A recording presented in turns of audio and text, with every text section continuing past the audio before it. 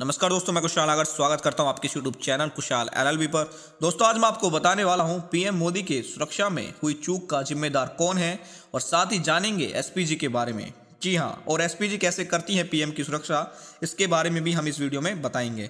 दोस्तों, मैं आपको बता दूँ कि सिर्फ़ प्रधानमंत्री को मिलती है एसपीजी सुरक्षा और हर दिन खर्च होते हैं एक करोड़ सत्रह लाख रुपये और साथ ही आज हम जानेंगे एसपीजी एक्ट के बारे में तो चलिए दोस्तों, जानते हैं एक एक करके इसके बारे में। जी हाँ दोस्तों सिर्फ़ प्रधानमंत्री को मिलती है एसपीजी सुरक्षा और हर दिन खर्च होते हैं एक करोड़ सत्रह लाख रुपए। प्रधानमंत्री मोदी ही देश में इकलौते ऐसे व्यक्ति हैं जिन्हें एसपीजी की सुरक्षा मिली है। पहले पूर्व प्रधानमंत्रियों और उनके करीबियों को भी इसकी सुरक्षा मिलती थी। एसपीजी की सुरक्षा व्यवस्था को देश में सबसे ज़्यादा चाक चौबंद माना जाता है। प्रधानमंत्री नरेंद्र मोदी की सुरक्षा में चूक होने पर बवाल बढ़ गया है।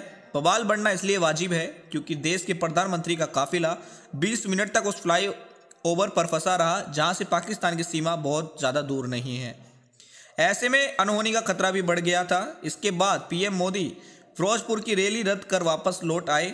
न्यूज़ एजेंसी के मुताबिक प्रधानमंत्री नरेंद्र मोदी ने वटिंडा एयरपोर्ट पर पंजाब सरकार के अधिकारियों से कहा, अपने सीएम को थैंक्स कहना कि मैं एयरपोर्ट तक ज़िंदा लौट पाया।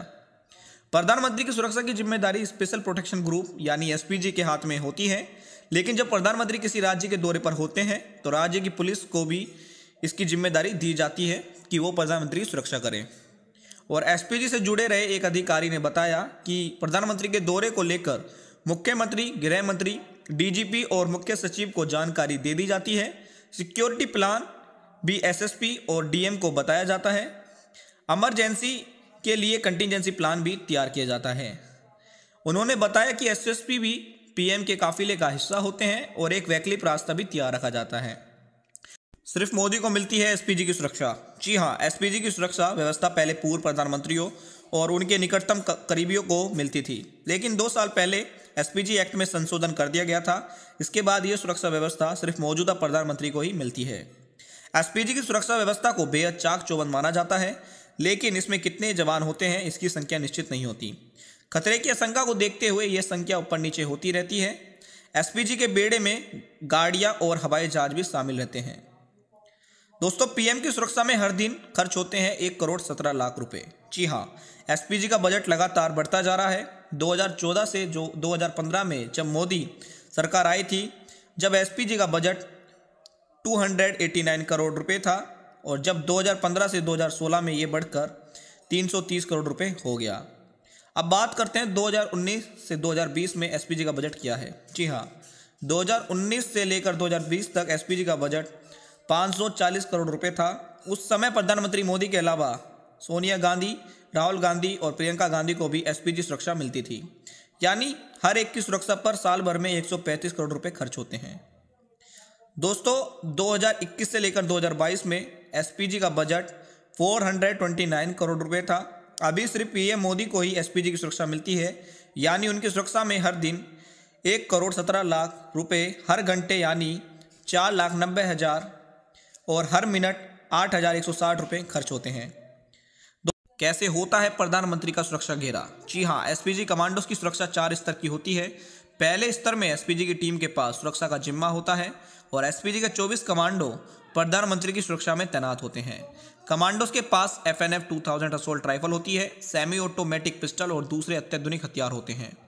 प्रधानमंत्री बुलेट प्रूफ कार में सवार रहते हैं और काफिले में दो आर्म गाड़ियाँ चलती हैं और नो आई प्रोफ़ाइल गाड़ियाँ और साथ ही एक एंबुलेंस और चैमर होता है।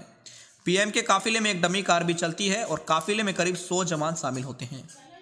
दोस्तों, इकतीस अक्टूबर उन्नीस सौ चौरासी को इंदिरा गांधी की हत्या हो गई थी।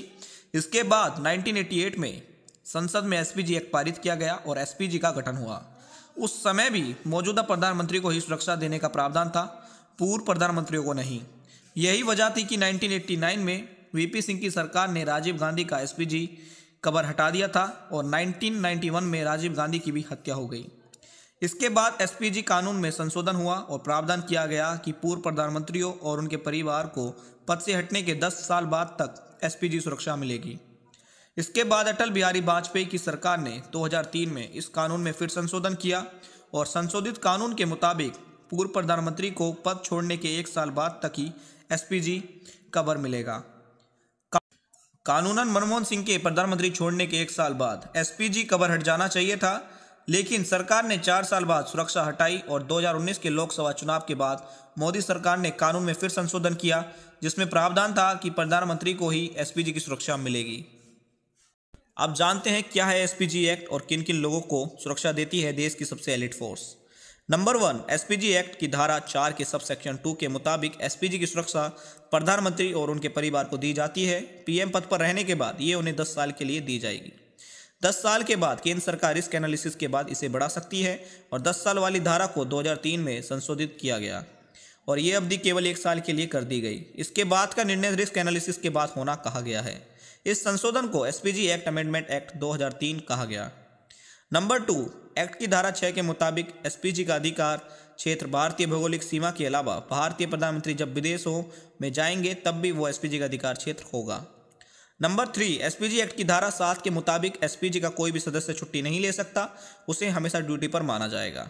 नंबर फोर, धारा आठ के सेक्शन ए के मुताबिक कोई भी एसपीजी का सदस्य एसपीजी में रहने के दौरान इस्तीफा नहीं दे सकता, इस्तीफे का कोई अधिकार उसे नहीं होगा। नंबर फाइव एक्ट की धारा दस के सब सेक्शन ए के मुताबिक एसपीजी का कोई सदस्य किसी राजनीतिक, श्रम यूनियन ट्रेड यूनियन या फिर किसी दूसरी सामाजिक संस्था का सदस्य नहीं हो सकता। नंबर सिक्स एक्ट की धारा दस के सब सेक्शन सी के मुताबिक एसपीजी का कोई भी सदस्य प्रेस या पब्लिकेशन करने का अधिकारी नहीं होगा।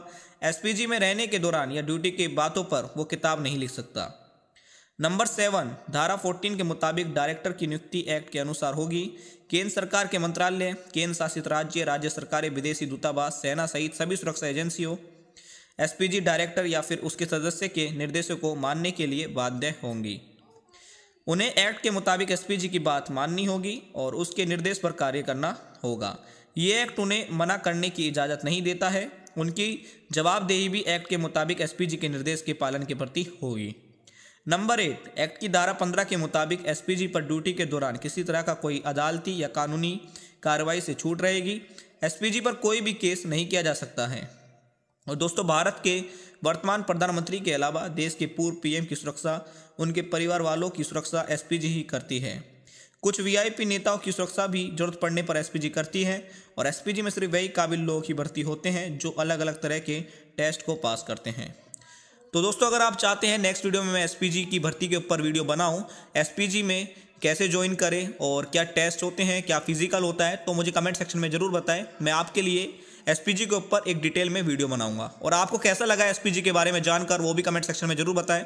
और ऐसी वीडियो देखने के लिए चैनल को सब्सक्राइब कर ले और साइड में बेल का आइकन दिख रहा होगा उस पर भी क्लिक कर ले, ताकि फ्यूचर में कोई वीडियो अपलोड करूँ, उसका नोटिफिकेशन आपको सबसे पहले मिल सके। और वीडियो अच्छी लगे तो लाइक कमेंट एंड शेयर ज़रूर करें।